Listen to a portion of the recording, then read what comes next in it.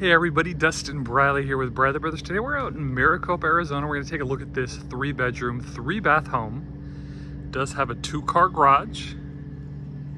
They're still building houses out here in this, uh, in this neighborhood, so there's a lot of new construction still going on.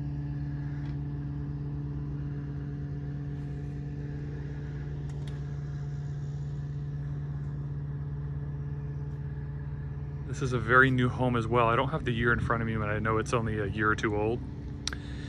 It's 2,258 square feet. The HOA on this one is gonna be $99 a month. You got nine foot ceilings. Does have that two car garage. The lot is 6,326 square feet. There is a bathroom and bedroom right off the front entry up here. This property started off at 465,000 and now it's already down to $437,500. Got eight foot doors, which is great. Tile throughout, carpet in the bedrooms. It's a nice home. It's a little dusty right now because it's vacant, but uh, it is a nice home. Got a coat closet if you come in from the front door. This layout I do like. So this you could turn into another bedroom. Some models are, but this is gonna be used as the dining room. It's what has a pass through over there, which I actually really like. This is the two car garage.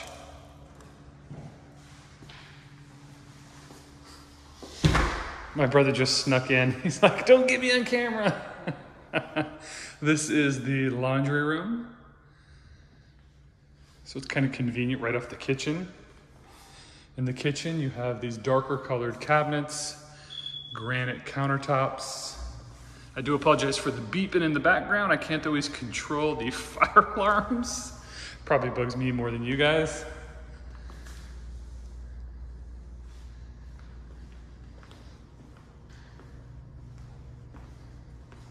No fridge.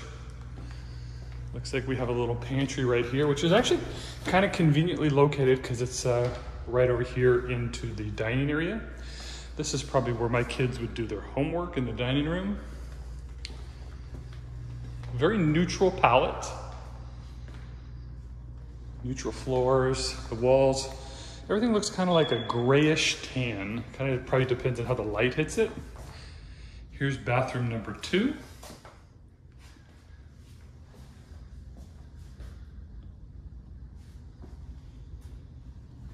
More storage. Bedroom number two right here. This one does have a walk-in closet. It's pretty big.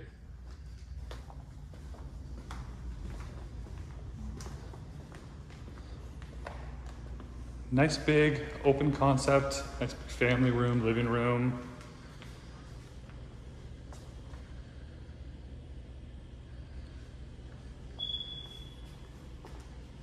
And then here is the primary. This is actually a good size primary. I do like this. So nice size, functional. And then you have this space over here where you could put a dresser, or couch, maybe a little sitting area. It looks like it maybe it's designed to put a TV right here and a couch against the window. I love having the separate bathtub and shower. Really a lot of space in here. You could jump rope in here. This is huge. Lots of space. Just one bank of drawers. I would like to have seen like a bank of drawers for each sink would be preferable. Big walk-in closet, very big.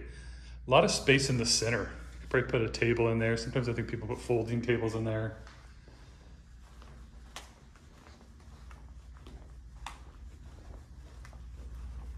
Check out the backyard. You know, and remember, if you've made it this far and you haven't subscribed, hit that subscribe button. We shoot one to two of these videos a day, every day. And uh, we try to keep you guys really just updated with what's going on in the market. And uh, so hit that subscribe button.